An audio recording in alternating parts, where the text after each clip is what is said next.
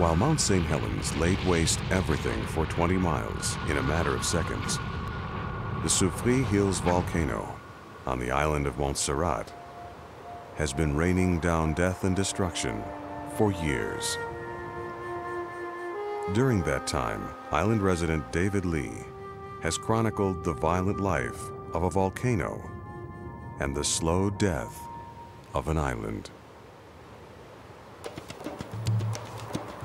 I've been documenting the volcanic eruption here in Montserrat since its beginning in uh, July of 95. We're going to take a trip up there and see what it's all about up in the vent. I have been going up there to capture images of this volcano up close. Uh, we're at about uh, 2,200 feet.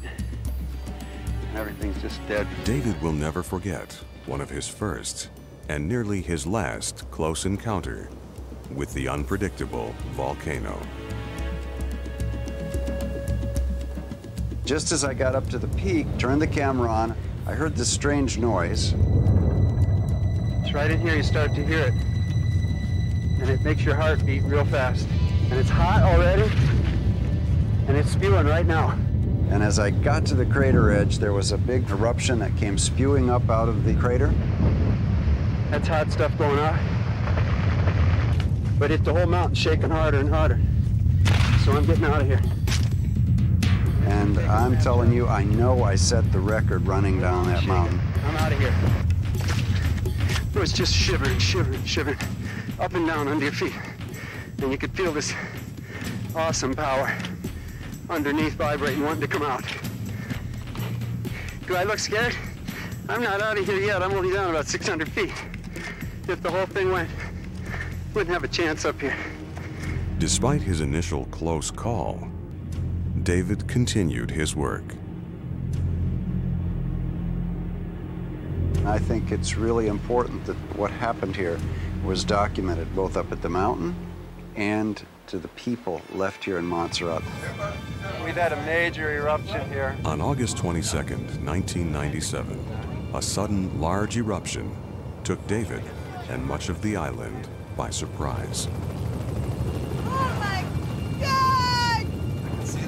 In a matter of minutes, tons of volcanic ash was blasted into the air and began smothering the southern part of Montserrat. Shield, it's hitting like it did the last time I came up here. You can see how heavy a cloud it is. It's actually, you can hear it, the rocks hitting on the roof.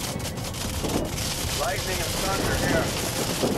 I mean, this black cloud fell upon me and it rained gravel and mud and it was hot, it was sweaty, all the windows were up and it was this, at noon, you were in this pitch black darkness. Trapped with little hope of escape, David could do nothing more than follow the dim taillights of a car on the road just ahead of him.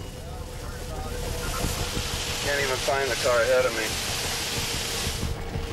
Finally, after several agonizing moments, David managed to escape the darkness. He must have lost his windshield washers because he's leaning out the car door. We were able to drive out of that and then into the village of Salem, which was just covered in mud. Everything and everybody was in this mud rain. They'd been just on the edge of the blackout. This cataclysmic eruption, and several others that soon followed, led to the evacuation of several thousand islanders. Area, uh, estimates four to eight inches of ash down This is not like your Hawaiian volcanoes where the lava runs down the side of the mountain. This has many events that are terrible and catastrophic, and many, many people were forced to leave because they'd lost everything they had as that mountain would go out of control and just wipe out villages.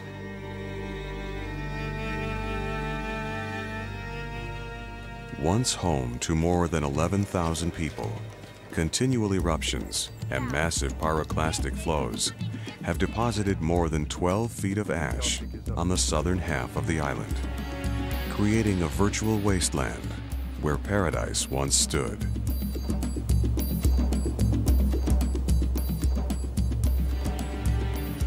For more than four years, David's self-produced documentaries have provided a haunting chronicle of the slow and sad transformation of Montserrat. The Bank of Montserrat is pretty much buried. We have no ability to control the force of a volcanic eruption. Our abilities are puny compared to that force of nature. It truly is a power that's out of control.